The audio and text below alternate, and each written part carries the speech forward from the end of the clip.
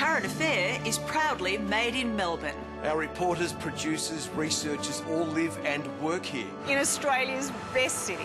Hello, I'm Tracy Grimshaw. Welcome to A Current Affair. The other 6.30 shows all come out of Sydney.